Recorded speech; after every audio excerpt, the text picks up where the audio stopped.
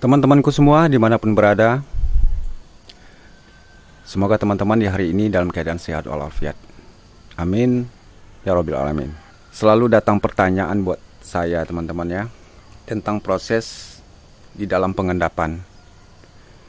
Jadi pertanyaannya begini Apakah dengan menggunakan pertukaran ion Ataupun dengan menggunakan sabun, soda api, logam yang ada pada air kaya itu akan larut semuanya.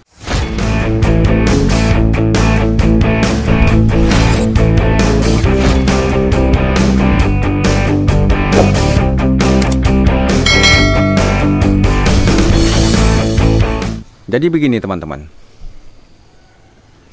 Di dalam proses pengendapan yang kita gunakan dengan sistem asam, jika kita melakukan pengendapannya, itu tergantung dengan apa logam yang akan kita turunkan.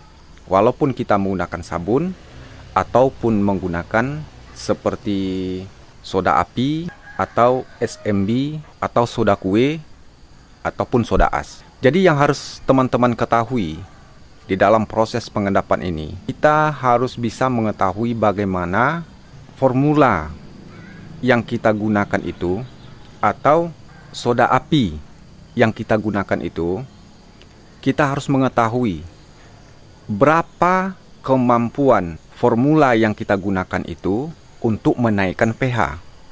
Itu yang harus kita ketahui dulu.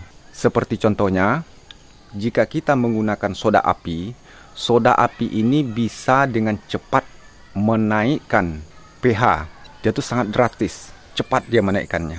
Berbeda dengan pengendap lainnya. Dan saya contohkan juga seperti kita menggunakan kopi misalnya. Kopi kita bisa juga menggunakannya untuk melakukan pengendapan. Begitu juga teh. Teh kita bisa juga untuk melakukan pengendapan. Termasuk juga sabun bisa juga kita gunakan untuk melakukan pengendapan. Seperti kopi, teh itu apabila kita masukkan kepada asam, dia itu bisa menaikkan pH 5 sampai 6 Demikian teman-teman. Kalau sabun, kita bisa menaikkan sampai pH 7 dan 8. Seperti saya ulang tadi lagi, soda api itu bisa sampai naik 14. Dan dia tuh sangat cepat menaikkannya daripada pH tersebut.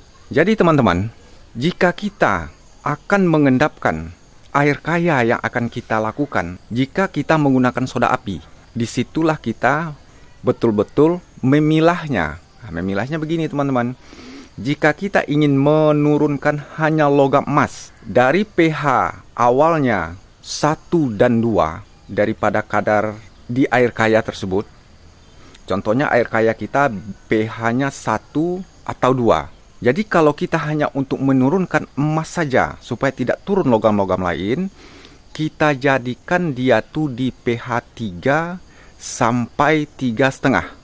Jika ada logam yang turun di pH 3 sampai tiga setengah, berarti itu tuh emas semua. Tapi naik dia di pH 4 dan empat setengah itu akan ada logam lain yang akan turun. Nah, jadi sering teman-teman kita itu menggunakan sodium metabisulfit untuk melakukan pengendapan khusus emas. Kenapa seperti itu?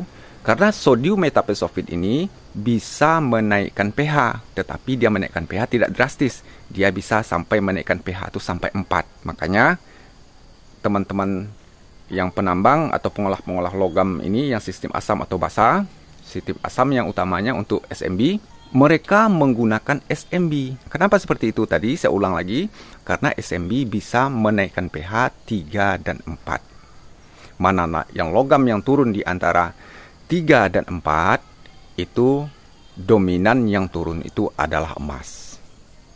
Nah, demikian teman-teman. Jadi itulah proses di dalam pengendapan. Nah, seperti yang di hadapan kita ini teman-teman ya. Ini endapan. Endapan ini mengandung kadar besi tinggi. Teman-teman ya, kadar besinya sangat tinggi. Nah, sekarang kita endapkan ini dengan menggunakan sabun. Kita menggunakan sabun.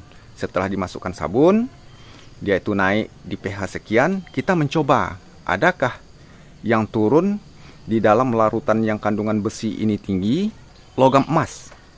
Nah, Justru itu dari awalnya ini material ini teman-teman ya, material air kaya ini Ibaratnya air kaya ini, ini awalnya 200 ml, sekarang saya tambah airnya menjadi tiga kali lipat menjadi 500 liter. Nah sekarang saya coba untuk melakukan pengendapannya. Ini tadi malam ya teman-teman ya, saya mas dan saya endapkan. Boleh teman-teman lihat, mungkin itu ada endapan sedikit di bawah teman-teman. Itu ada endapan sedikit yang bisa yang bisa teman-teman lihat. Itu endapannya sedikit. Berarti di besi juga di air kaya yang kandungan besi tinggi, emas juga ada. Nah, jadi kalau kita ingin memproses air kaya, kita itu bisa melakukannya bertahap-tahap. Langkah awalnya kita mengambil dulu, contohnya emas dulu, setelah diambil emas dan perak misalnya, kita ambil tembaga dulu, setelah diambil tembaga, apalagi yang mau diambil selanjutnya, contohnya palladium, ambil lagi palladium, apa pun yang ada di dalam air kaya atau yang terlarut itu bisa kita ambil satu persatu dengan formula-formula atau alat-alat pengendap yang banyak dijual di pasaran. Demikian teman-teman. Jadi saya katakan lagi untuk melakukan pengambilan logam mulia daripada larutan kaya itu tergantung dengan kita sendiri-sendiri. Apa yang akan kita lakukan atau apa yang akan kita ambil disesuaikan saja dengan pH-nya.